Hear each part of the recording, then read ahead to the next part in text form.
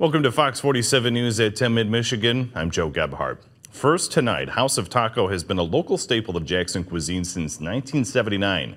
For more than 40 years, people have come in to enjoy a homemade wet burrito or tacos, but on Saturday, owner Chuck Minix will welcome customers in for the last time. Minix got into business with his mom and dad at the age of 19, taking over the restaurant after his aunt and uncle owned it for a year. He fully took it over in 1981. I didn't really want to work for anybody.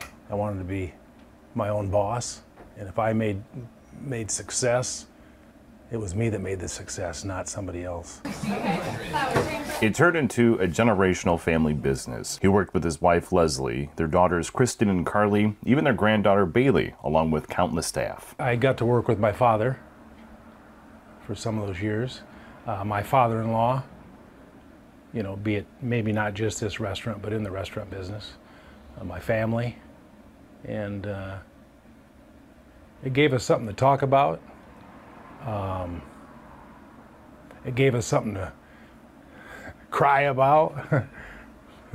you know, just all the memories are pretty much positive. But after 43 years of grinding away, making their own recipes, salsas, and mixes, it's time for a new chapter. It was a tough decision. Um, should I, shouldn't I?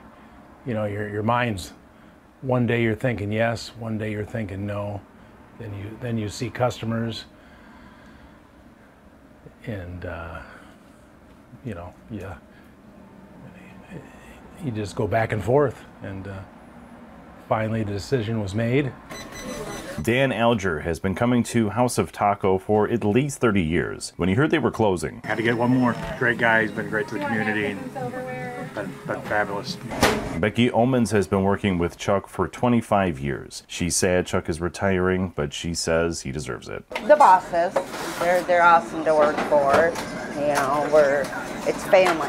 I think Chuck, you know, his dedication to his, his business, a lot of things he's done outside for customers, and just getting to, you know, meet people. It's, He's done a lot. 2118. After he announced they were closing, the community support surpassed his expectations, coming from all over the state and even as far away as Indianapolis. It's unbelievable. Um, in my wildest dreams, never thought it would be what it is.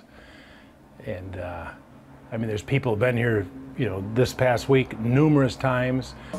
House of Taco will be open Tuesday through Friday, and Saturday they'll host a Customer Appreciation Day from 10:30 to 5. We'd like to thank uh, all the customers for 43 years of great, great uh, loyalty, and uh, we couldn't have done it without them. And I'd like to thank all the all the staff we've had over the years, uh, especially the ones that have been here the last a bunch of years. Up next for Chuck, he says spending more time with his wife and grandkids, a little more golf, and lots of traveling.